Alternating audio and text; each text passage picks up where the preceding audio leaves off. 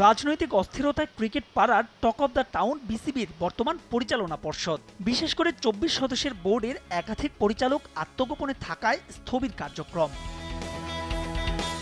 এরই মধ্যে নাজমুল হাসান, পাপন সহ বোর্ড পরিচালকদের পদত্যাগের দাবিতে প্রায় প্রতিদিনই বিসিবিতে হচ্ছে মিছিল।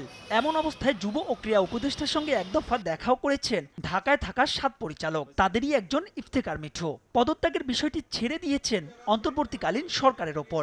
সরকার যেটা চায়, সেটার বাইরে যাওয়ার কোনো ইয়ে না ওনারা যদি চায় যে এই বোর্ড নিয়েই কাজ করবেন, তো দ্যাটস ফাইন যদি ওনারা বলে আমাদের রিজাইন করতে আমরা প্রস্তুত আছি সব ডিরেক্টররাই। আমাদের কনস্টিটিউশন অ্যান্ড আইসিসি রেগুলেশন নিয়ে আমাদের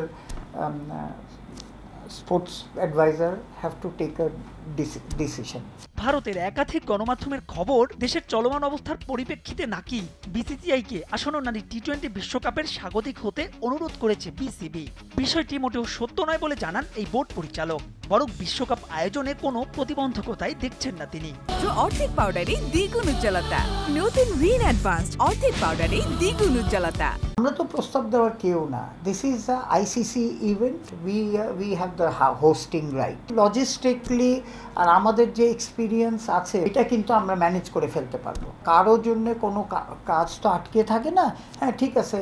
হয়তো এখন আমাদের কিছু বোর্ড ডিরেক্টর যারা দেশে নেই, তাদের কাজ আরেকজন করতে হবে, বেশি ইয়ে করতে পারে আমাদের ম্যানেজমেন্ট টিম ইজ তো সেম আছে।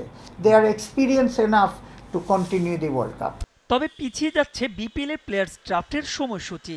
আগামী মাসের প্রথম সপ্তাহে তা হওয়ার কথা থাকলেও ফ্র্যাঞ্চাইজিগুলোর দাবির মুখে হতে পারে শেষ সপ্তাহে। এটার তো কোনো ডিসিশন নিতে পারছি না।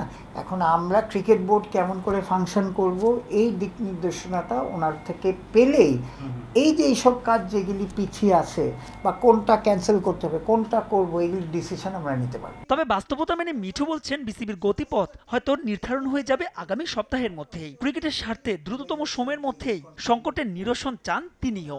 ক্রিকেট বোর্ড কেমন করে ফাংশন করব? মাহবুব ইমন সময় সংবাদ ঢাকা।